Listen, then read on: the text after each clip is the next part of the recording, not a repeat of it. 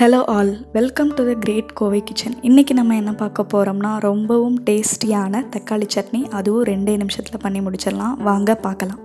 அதுக்கு முதல்ல இந்த மாதிரி ஒரு குக்கர் எடுத்து அதில் நாலு டேபிள் ஸ்பூன் எண்ணெய் ஊற்றிக்கோங்க கூடவே ஒரு ஸ்பூன் சீரகம் போட்டுக்கோங்க.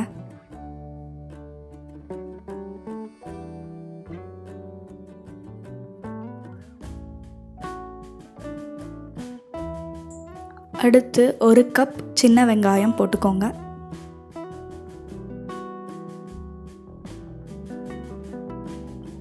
அது கூட கொத்தமல்லி கொஞ்சோண்டு போட்டுக்கோங்க.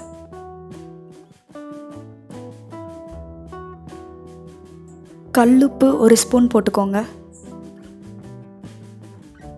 மிளகாத்தூள் ஒரு ஸ்பூன் போட்டுக்கோங்க.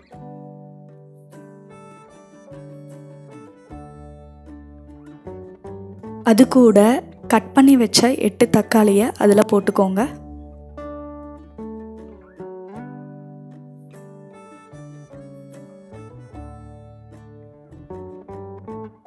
நல்லா மிக்ஸ் பண்ணி கொடுத்துக்கோங்க.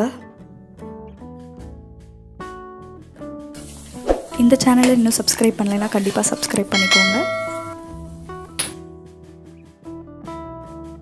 இப்போ அவ்வளோதான். குக்கரை க்ளோஸ் பண்ணி ஒரு ஆறு விசில் விட்டுருங்க. இப்போ குக்கர் ஆறு விசில் விட்டுருச்சு. இப்போ இந்த மாதிரி இருக்கும்.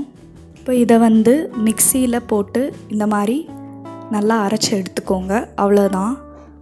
தக்காளி சட்னி ரெடி ஆயிடுச்சு அதுவும் ரெண்டே நிமிஷத்தில் இது பண்ணி முடிச்சிடலாம் கண்டிப்பாக இதை வீட்டில் ட்ரை பண்ணிட்டு கமெண்ட்டில் சொல்லுங்கள்